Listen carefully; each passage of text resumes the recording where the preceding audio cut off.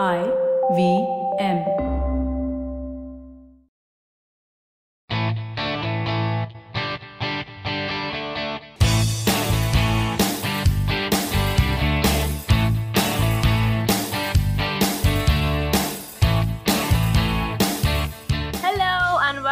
a brand new episode of the Musafir Stories, India's very own travel podcast, where each week we share the journey of travelers in their own words and relive their experiences with you, our listeners.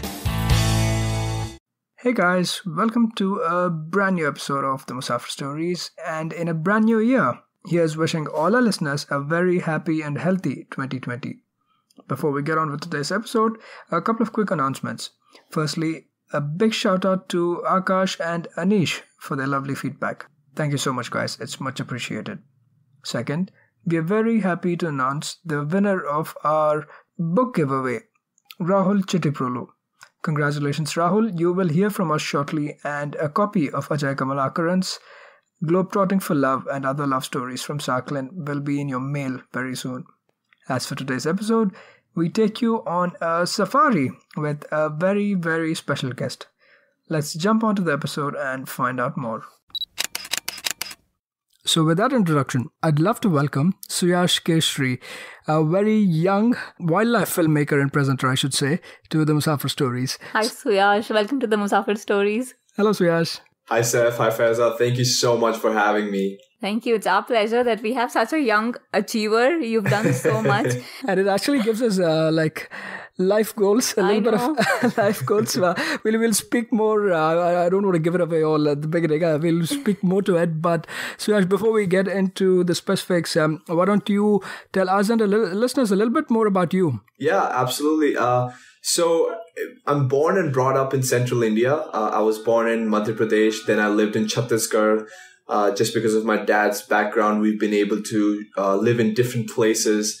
I say to people that I have, um, you know, 10 houses, 10 homes, um, but not my houses, just 10 homes because I don't feel at home at only just one place. They're just different places. Uh, then after living in central India for about 10 years, uh, I came to New Delhi. I lived here for nine years. Then I moved to United States for my education. Um, I went to Wake Forest University in North Carolina. And then I worked in Washington, DC as a political advocacy guy. But recently I left that job in May and um, moved back to India to follow my childhood dream to become a wildlife presenter and filmmaker full time. Amazing. Quite the ride, we should say. And uh, Yeah. all of this for uh, all of 23. Yeah, I'm just 23. so, starting off, Suyash, uh, how did your interest in wildlife start off? You know, it's an interesting story that's happened at a very young age. Uh, I was just about four years old. Uh, my Nana ji, uh, unfortunately, he died a couple years ago, but uh, my Nana ji used to take me to the Kolkata Zoo. And um, he had already introduced me to wildlife TV shows on Animal Planet, National Geographic, Discovery. So at a very young age, instead of watching uh, Tom trying to catch Jerry, I was I was watching hyenas uh, devouring a live animal, lions fighting with each other. Um, looking back, that's a quite devil-like passion I had. Um, because I would be thrilled at the sight of guts spilling everywhere. but but I think it, it set me on a path towards just like loving wildlife. And this one time I was standing next to a tiger cage in Kolkata Zoo.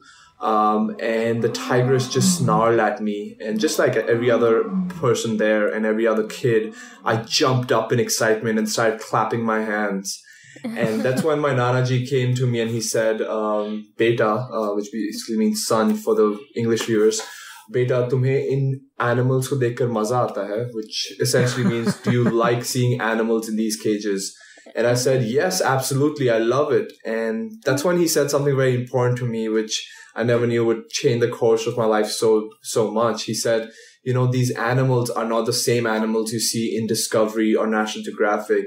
These animals are going to be in their cage in the 4x4 cage for the rest of their lives. So I guess that broke my heart at a very young age and um, brought out some very honest truths about it. And set me on a path to just learning more about wildlife, uh, being more passionate about it, exploring about it, and just imagining myself in a place where I could do something uh, to protect them, to tell their stories, and just to enjoy the beautiful natural world that we have, uh, especially here in India. Yeah, so that's just a little bit of background how the wildlife interest came through. Uh, I also, as I said, grew up in central India, so uh, wildlife was practically in the backyard all the time. absolutely absolutely we'll definitely talk a little bit more about that uh, but also tell me a little bit more about um, i know you spoke a little bit about your um, how the interest in wildlife um, arose but mm-hmm. through your um, short career so far right uh, uh, like how did all of this happen in terms of uh, you being abroad and uh, I mean, in, in one way, you had like a cushy job, right? A lot of us yeah. kind of crave for that. Uh, but at this I wouldn't even say ripe age. Uh, I mean, uh, uh, you're literally looking, uh, the, the, whole world is up to you. At this point, you have uh, left that behind and made a decision to um, kind of uh, like completely change gears and um, choose a different career path. Yeah, yeah, choose an alternative career path, not even um, say you're coming back to India just to pick up something, um, say another cushy and better, better paying job or anything, right? You've uh, chosen to follow your passion. So, uh, how did how did that big of a decision? How how did you make it this this young age, and how did that come about? Yeah, so you know a little bit of background. Like I I always wanted to do something like this but somewhere along the way the uh, the drive to make this a career was uh, mounted by the needs and the financial needs the the societal needs of you know this yeah this is not so called the standard path uh, towards success, especially in in the Indian society, where people right. usually go towards becoming an engineer, doctor, uh, mm-hmm. lawyer, uh, which is there's nothing wrong with that, but that's just not what I was interested in. And in as I went to college, uh, I decided, look, I, I still want to do this, so I'm going to find a way uh, to continue wildlife photography, find a way to become a filmmaker. And about my sophomore year, which is second year, I mm. had a chance to intern with a wildlife filmmaker, renowned wildlife filmmaker in India. But even though he signed me up for the internship, uh, he was not willing to pay me. He was not willing to even cover my travel costs or my meals. Um, and when I came back to, and this was all set up, but when I came back to India from US after finishing my second year, this guy said to me, he's like, oh, uh, you know, why don't you go to Tadoba National Park, which is a big national park in India, um, film for us and then get back the film and we might not be able to even give you the credits. Uh, we can't hold any of your uh, reservations or we can't pay for anything. So that was like that's weird. Why is he telling me to do that? Um, of course then i decided not to do that.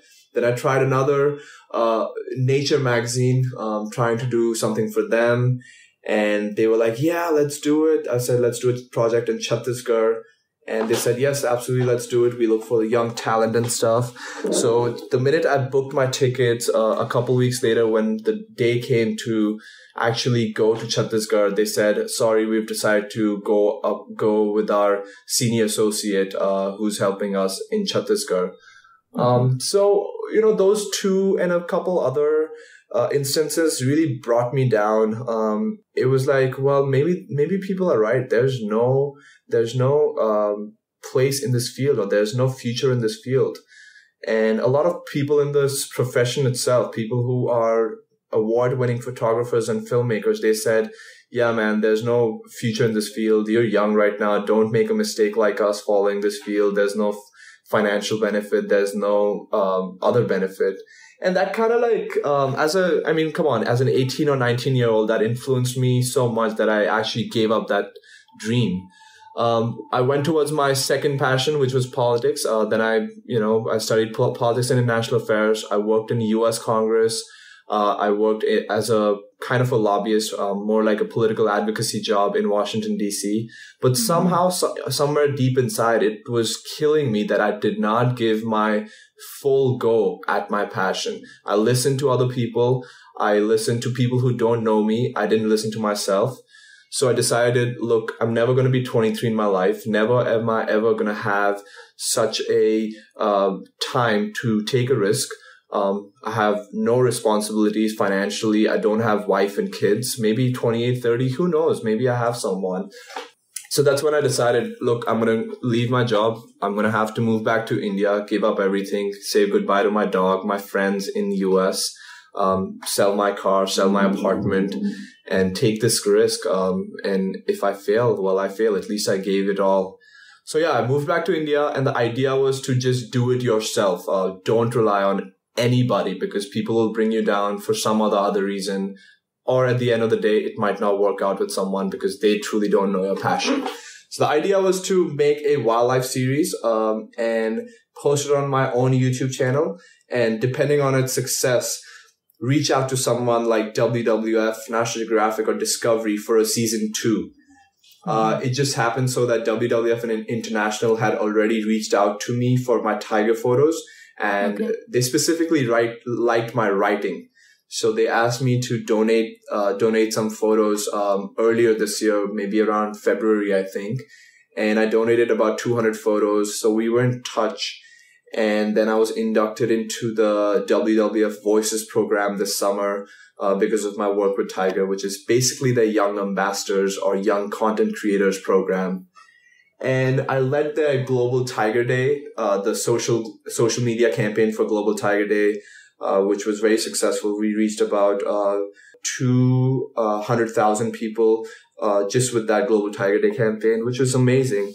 Wow. And I told them, look, I'm working on a series and I would like some of your, you know, advice, ex- expert advice on that and that of your team. And I sent them first two episodes and they really liked it. And that's when the idea came, why don't I pitch it to WWF? So by end of August, I got uh, five episodes ready. I sent it, sent them all the first cut and they liked it a lot. So we decided to do it together and launch the series together.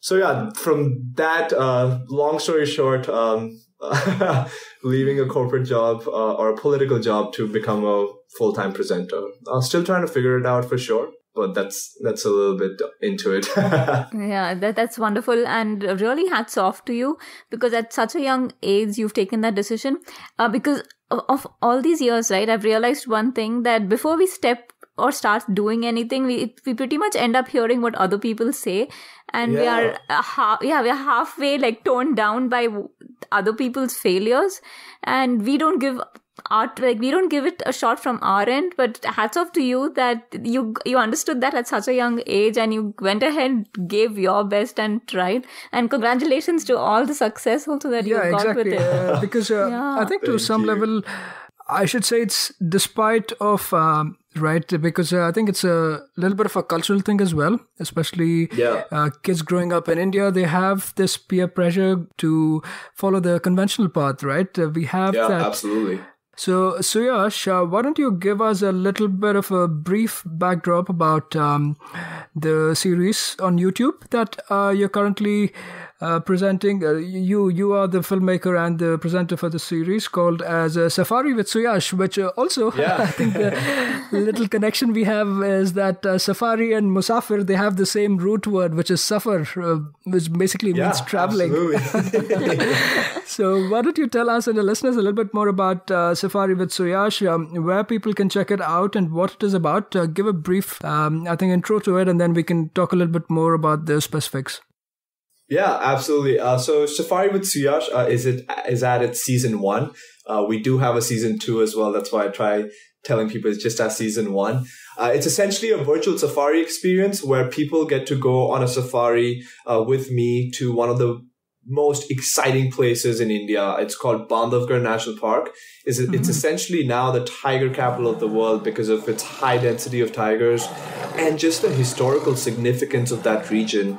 Uh, it was mm-hmm. actually a, a hunting grounds for the Maharaja of Rewa, And um, even going beyond that, uh, like earlier history, it was actually in, in Hindu mythology supposed to be a gift by Lord Ram to his brother Lakshman.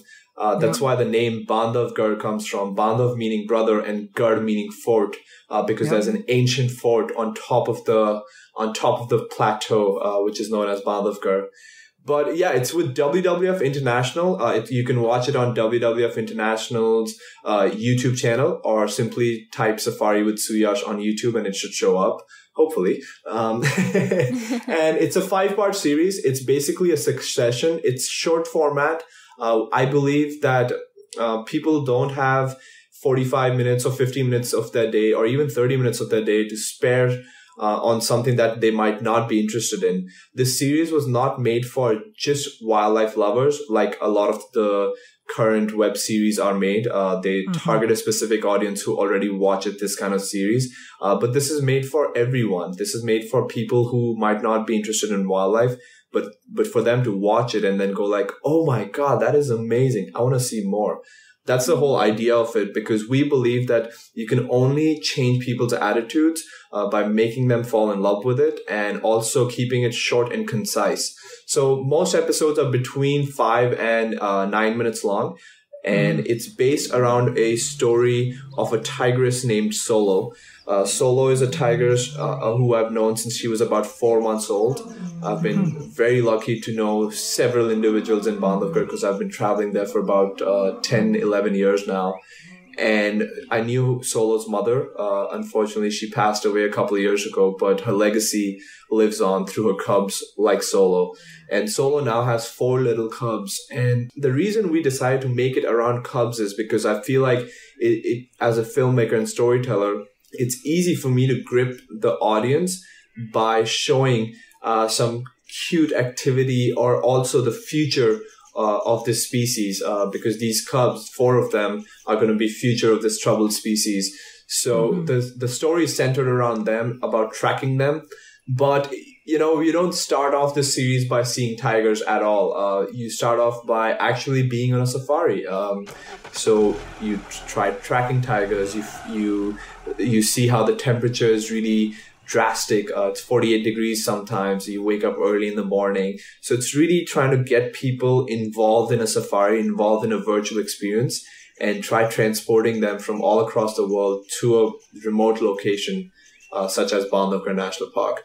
Okay, okay. Brilliant. Good luck. And, and yeah, I'll, I'll just reiterate that uh, the series is called Safari with Suyash we will definitely mm-hmm. include links to the series and individual episodes as well in the show notes Thank section you. of the podcast. And uh, to make it easier for the listeners, we'll also go ahead and uh, name this episode uh, of the podcast as a Safari with Suyash. So you don't even have to hey.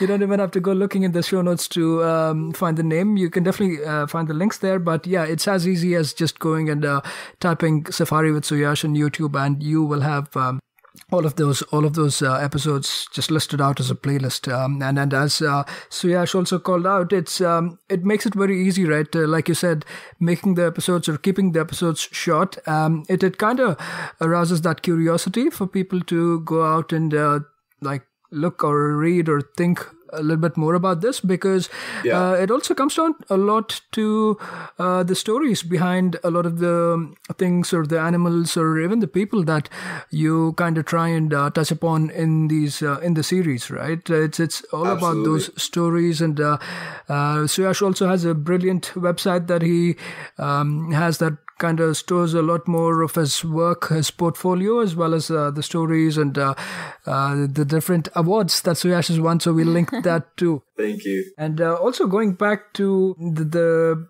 location of the national park that you've chosen to cover the series, right? Bandhavgarh, like you said, uh, very um, historic and a very significant um, piece of the uh, wildlife in India also, right? It's I think uh, one of the most densely populated tiger population that yeah, you find absolutely. in uh, national parks, right? So that way also I think um, it's it's great and like you mentioned, there's a mythological um, backstory to this as well, as well as uh, absolutely the uh, the, the, national park. I mean, it wasn't a national park uh, back then as such, but right from the days of the kings, this used to be more like a game reserve, right? This is where the, yeah, more like a hunting reserve. Exactly. So um, that too. So it has that bit of connection too. Um, now, how has your experience been? Um, like, uh, just draw out uh, for us and our listeners uh, the whole process, right? Uh, as a, I mean, when you go out to a safari, it's more uh, like um, sitting in a jeep or following the, uh, uh, I guess the guide or uh, whoever the uh, naturalist is on on board and uh, trying to follow his directions. But uh, when how was your experience when you like set out to film this, um, film this series, right? Uh, um, how was that different and uh, uh, like what is the whole process of uh, tracking uh, a tiger because uh, the, the series focuses on tiger right more, more, Yeah. the primary focus is on tiger so how is the whole thing given that this is in the plains with the quite drastic temperatures also right so uh, Yes, uh, absolutely. just share that experience with us please Sure. So I guess like uh, just for your viewers, if you're planning to go on a safari in India, a couple things to keep in mind. Number one, uh, I feel like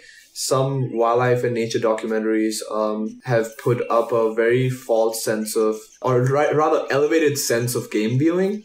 Uh, Which because since you know if it's a 45 minute documentary about wildlife, of course for the 45 minutes you're going to be seeing wildlife.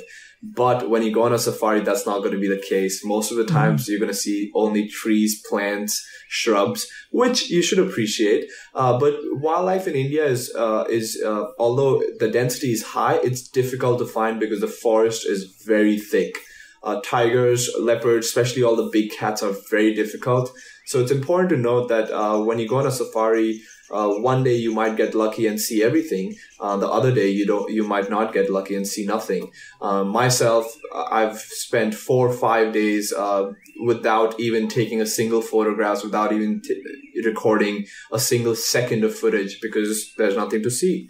Uh, that's on the one side, but on the second side, wildlife safaris in India are pretty expensive. The government puts up a lot of conservation fees and just the industry as a whole, since there are only limited passes. For example, in a place like Bandhavgarh National Park, you can only buy, uh, I think there are 75 vehicles allowed at one point.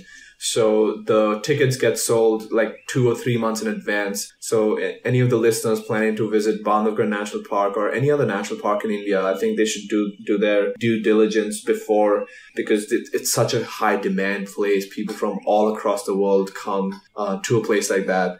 And once you're in the safari itself, you basically, uh, unless you're trained yourself, uh, you basically rely on your guide and your naturalist uh, to do the tracking. Um, mostly with tigers, you look for alarm calls of deer, langur, sambar. Uh, you also look for pug marks. You also look for or, or hear out the calls and roars of tigers or different animals um, pointing towards a tiger's location. But it's it's it's almost that you know tigers.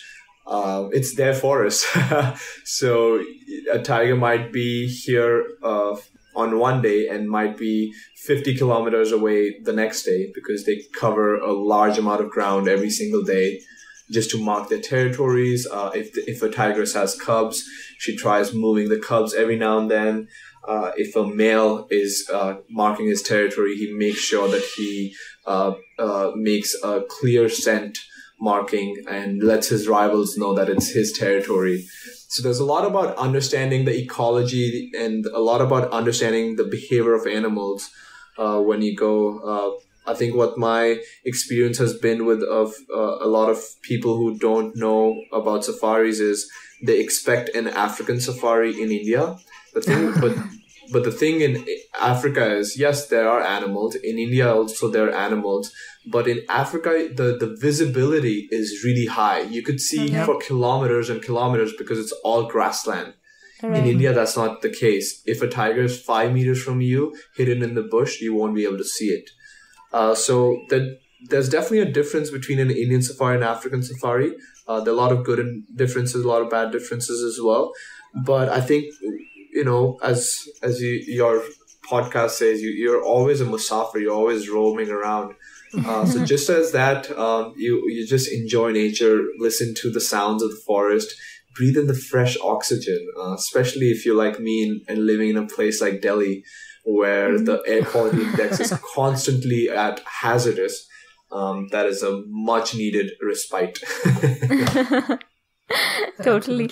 Yeah. And uh, Suyash, is there any incident or um, like a small animal story that you came across that left an impact on you? Yeah, uh, there have been a lot of them, but I think, you know, there's been one specific story that completely changed uh, my perspective on wildlife and also almost like enraged me to follow this passion wholeheartedly.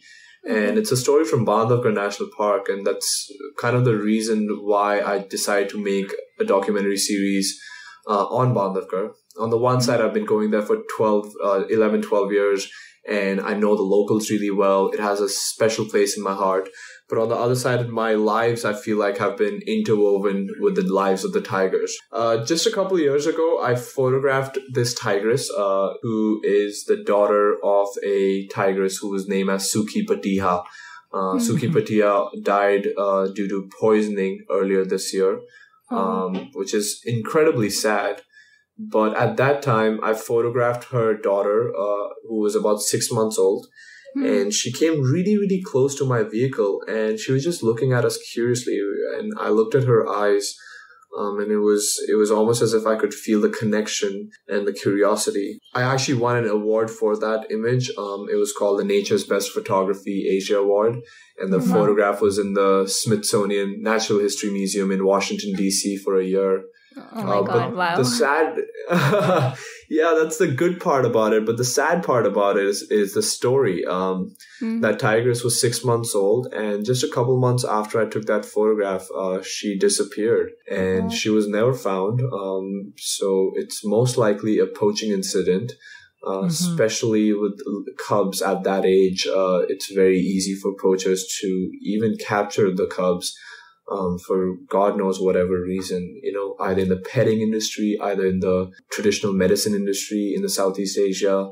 Mm-hmm. It's sad that her mother also uh, had a similar fate where a, a carcass was poisoned and, and, and she was killed. So I think those two, that, that story uh, really impacted me. And I said, um, if a place like Bandhavgarh National Park, which is world renowned for its tigers, where security is at its highest. If people can still come in and poach a tiger, then this story is yet to be told. This story is more significant and more important now than ever. Absolutely, and I think th- th- that bit that you called out, right? Uh, it is it is necessary to bring out these stories and uh, create awareness about it because uh, even as of today, even though we see that um, the tiger populations are slowly back on the rise, uh, I believe we have um, close to about three thousand tigers in India now, right? Yeah, yeah, yeah. 2,967, yeah. Exactly, and they've been growing over the past uh, decade or so. But uh, if, still, if you look back in relative terms, I think uh, about ninety or ninety-five uh, percent of the tiger population from the beginning of the twentieth century or whatever has been wiped out, right? By Yeah, absolutely. Basically the man-animal conflict and uh, yeah, things like poaching. So, what are some of the big challenges that, uh, more than challenges, threats? To um, wildlife that exists, Suyash. Yeah, so the number one uh, historical threat has been just traditional medicine. Uh, places in China, Vietnam, Laos, Cambodia, North Korea, South Korea. Uh, tiger bones are, and even tiger meat is very prized. So it's a luxury, and uh, it's falsely believed that tiger bone wine, tiger bone soup, can cure cancer, can make you live for 120 years old, and uh, can cure. It's also used as an aphrodisiac. It can cure erectile dysfunction. It's all false beliefs. Uh, it's purely not scientific. Uh, there's no scientific evidence for that. So it's an absolute luxury. Uh, of course, then there's the skin trade, there's the claw and meat uh, trade. Uh, did you know a one one bowl of tiger bone soup in in in China in a good nice restaurant in China can cost four hundred dollars. oh, my god. God. That's how much expensive it is. So pound for pound, pound for pound, tiger bones are more expensive than any other mineral on this earth. Wow. And it, and this is exactly why the tigers are so so prized possession for the poachers. Um, But the sad reality is, you see, a lot of the locals in India they're so poor. If if someone came to you, uh, or if someone came to a farmer rather, and they said, "Look, the crops have failed this year because there's no rain."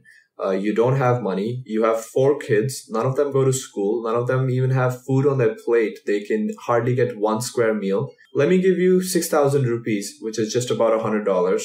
Uh, let me give you 6,000 rupees. Go and kill a tiger for me.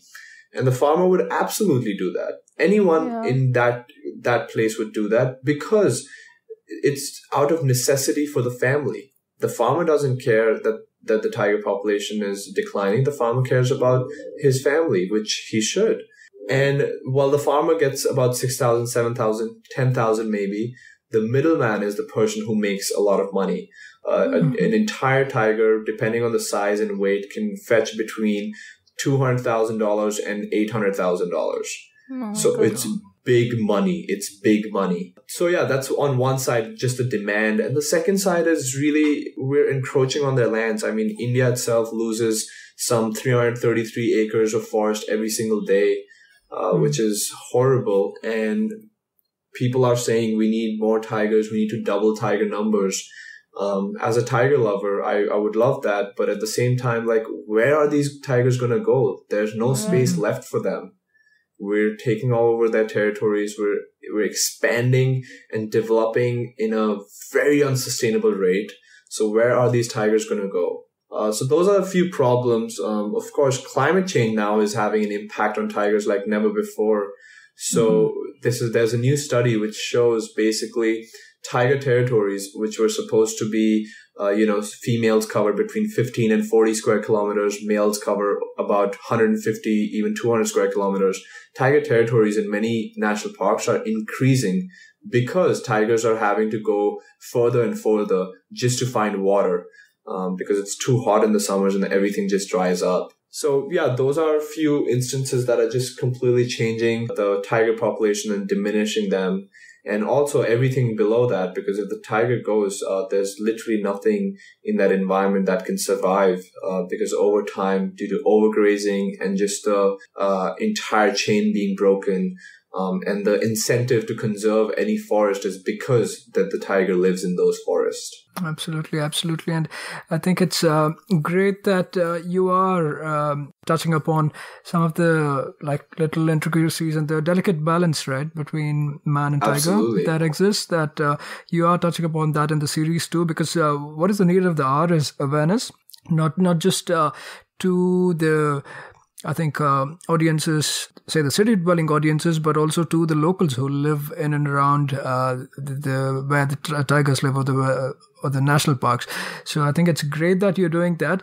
Um, I think uh, as as we uh, inch closer, I'd like to throw back the focus a little bit more about the series itself, right? Um, you did call out uh, initially that uh, you are focusing uh, in this particular series, uh, the first season one of uh, Safari with Suyash, on um, this tigress called Solo. Is is that uh, what her name is? Yeah, and her cubs, um, because. Um, uh, I think even historically, Bandhavgarh has had some uh, pretty famous, pretty popular uh, inhabitants, right? Going back to Charger and Sita and uh, Yeah. Rajbhera.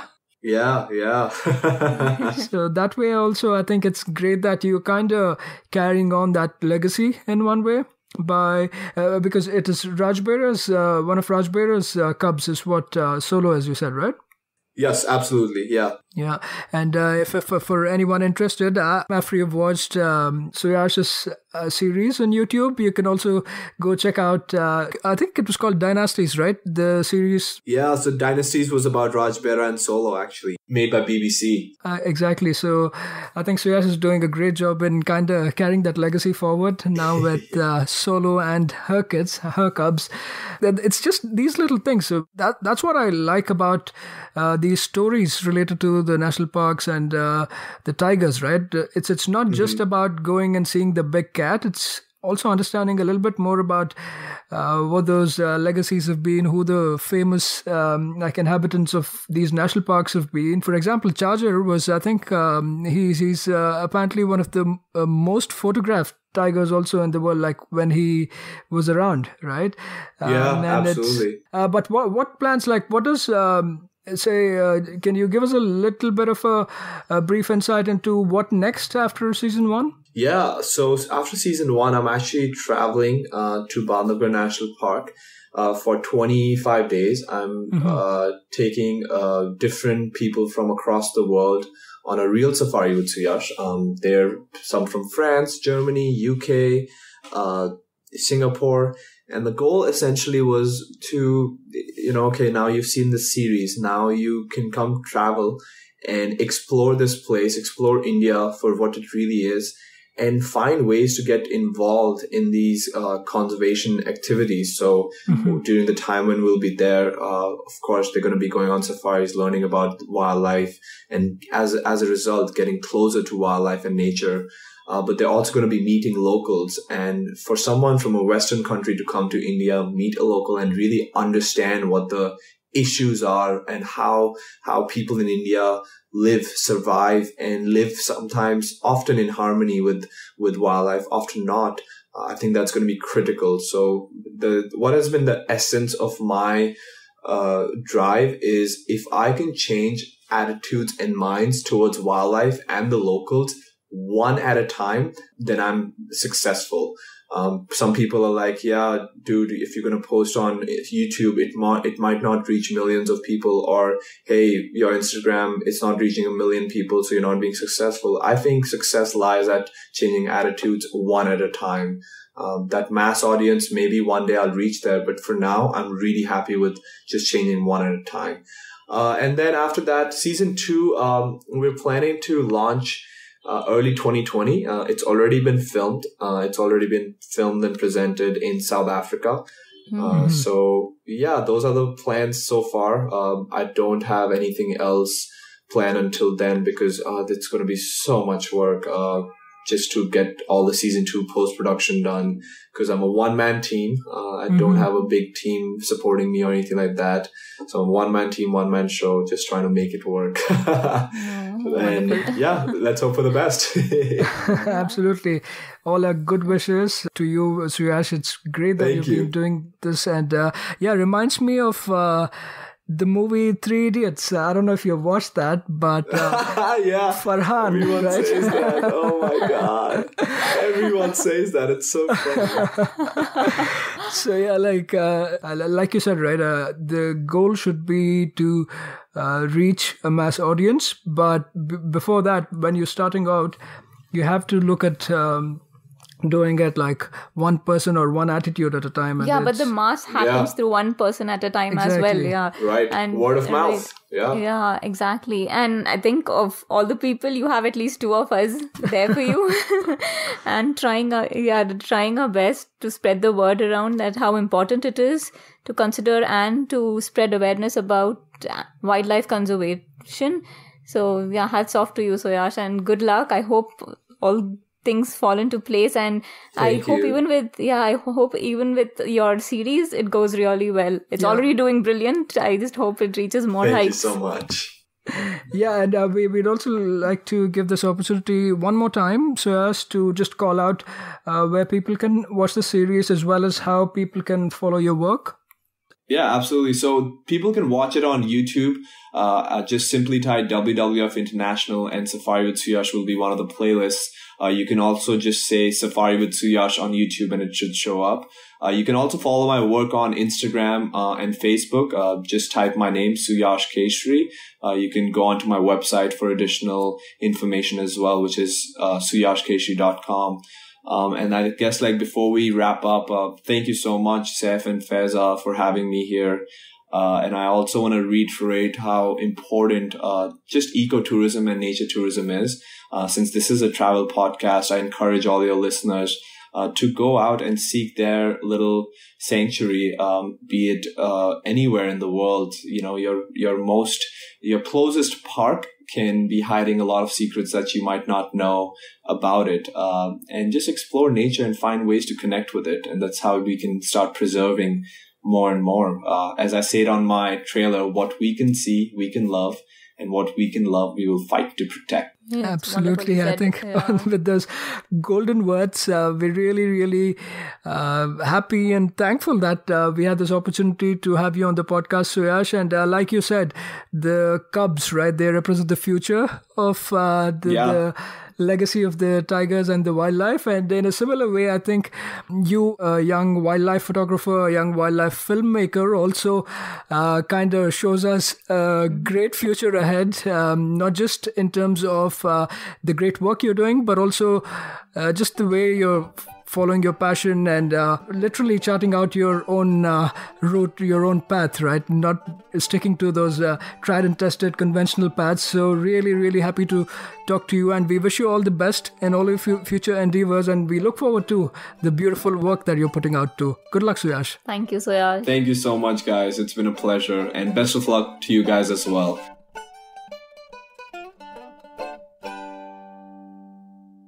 That was yet another great episode of the Musafir Stories. If you guys like the show, please subscribe to us on iTunes or Apple Podcasts, Audioboom, Saavn, Pocket Casts, Castbox, Stitcher, or any other podcasting app available on iOS or Android. Please do leave us a review on iTunes. It goes a long way in the show's discoverability. You can also follow us on Facebook, Twitter, or Instagram. We go by the handle The Musafir Stories. Or, if it suits you, you could email us at themusafirstories at gmail.com or visit our website at www.themusafirstories.com for more information. All of these links will be made available in the show notes section of each episode. So here's to more traveling, sharing, and inspiring. Stay tuned for our next episode. Until then, happy travels and goodbye.